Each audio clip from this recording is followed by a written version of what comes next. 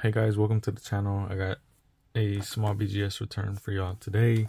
Um, I believe some of these are stuff that I sent before I started making YouTube videos, and then another part is some of the YouTube videos I made. Um, but let's just go ahead and begin.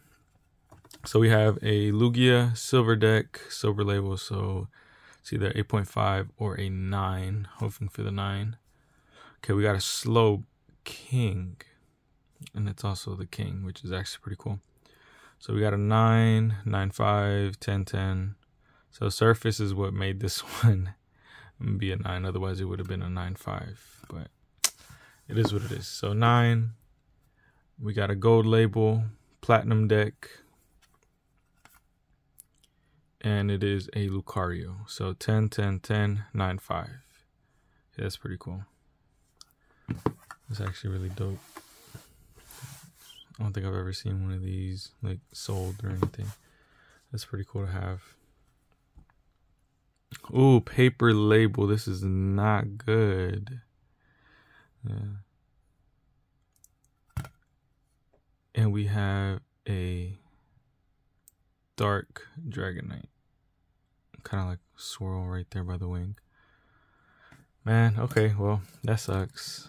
I was hoping for at least a 5. But I love this artwork. So this is staying in my personal collection for now. For now. so maybe I get something down the line. Okay, we got the Pichu from Neo Genesis. Remember I picked this up for like 20 bucks a while back. Pretty cheap. I'm glad it yeah, at least got the A5, so I got the the silver label. I'll take that. I'll definitely take that. Probably my favorite Pichu artwork. Okay, we got the Arcanine, Blaine's Arcanine from, I believe this is Gym Challenge, but it's Challenge, Gym Leader 2 Challenge from Darkness. So it's a Japanese set. You got the big old swirl in the back. So we got a nine. That's great. Also for the personal collection. So I believe most of these were for the personal. Hey, okay, a T-Tar, Sleeping T-Tar, 9-5. There we go. Battle Styles. I remember I pulled this card when I was opening Battle Styles trying to get the Urshifu, but I got the T-Tar instead. This is pretty dope.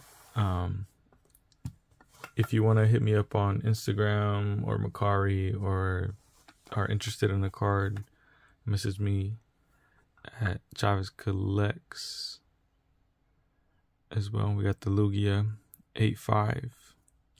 Beautiful swirl. Yeah. Pretty sure the reason is surface. Yeah, and I got the 8 on surface. If I remember correctly, there's like scratches, yeah, in the back on the card. There's like a couple dings. So, as expected, but still a beautiful art. And then last but not least, we have another paper label. And it is a Typhlosion 17. Well, technically Typhlosion 157. 17 in English and I sent this card before I actually got my PSA 10 version of it, so I kind of low key regret sending this one in, but still a beautiful card. The reason it got decked was surface and edges, which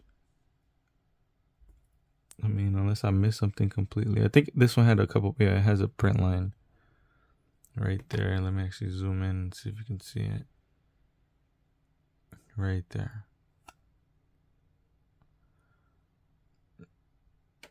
Yeah, print line. Edges, I don't know, and actually, I'm I'm curious. So let's go ahead and see the black light. Okay, yeah.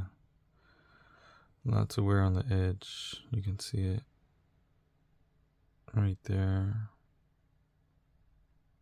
All across right here. So, fair enough, fair enough.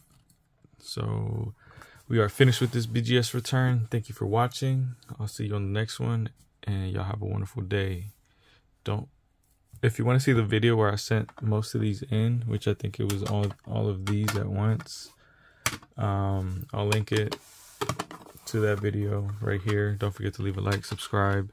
Tell me which one of these vintage cards is your favorite one. And we'll be seeing you on the next one. Y'all have a blessed day.